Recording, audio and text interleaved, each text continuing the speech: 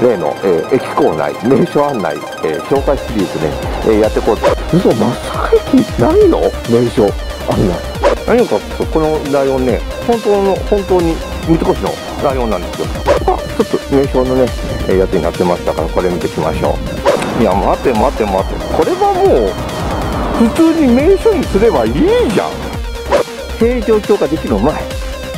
おめっちゃ古いじゃないですか1300年の歴史を持ちます。